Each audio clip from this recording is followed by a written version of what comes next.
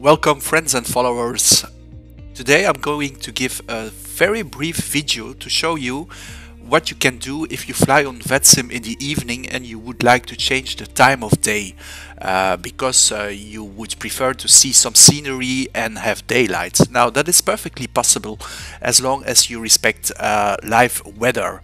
Uh, I'm going to show you where you have to make changes in Microsoft Flight Simulator. You go to flight conditions. Here we will have to make changes in multiplayer. Now, be aware, sometimes this is grayed out and you can make, not make changes. In that case, first thing that you do is you go all the way back to uh, the options and go to the general options and to data. Now, in data connection uh, options, you will put everything to off and then apply and save. And then you will put it back to on and make sure that the first three are on and the last two are on. Only live real world air traffic should be off and you apply and save again. Then we can go and head back to our world map and now in flight conditions you will be able to select all players. Now, as you know, vPilot in VATSIM, it injects uh, the live uh, players.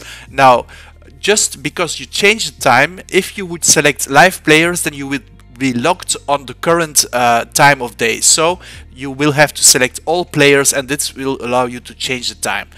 Now another important thing in VATSIM is uh, ATC will um, monitor uh, live weather details like uh, the wind, the temperature, the barometric pressure, the QNH as they say. So uh, they will need for your flight to have live weather. Now how do you obtain that? In what weather and time down here you go to presets and you select live weather there. With that set, you can close and you can uh, go to an airport of your choosing where there is ATC coverage and uh, log in. I'll do this uh, for this example.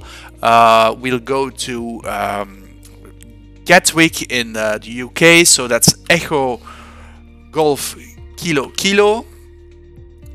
Gatwick and uh, I'll choose a stand. Uh, let's uh, select this stand here, ramp 30 uh, set it as a departure and we can uh, fly.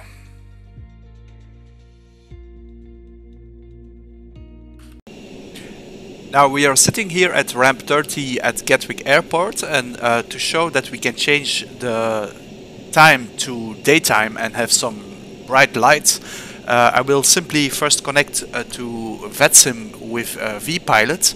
Uh, I will file a flight plan here and I will connect as observer.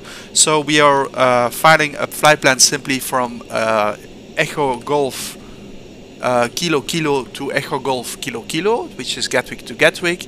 And uh, we will uh, put as a remark that we are uh, observing.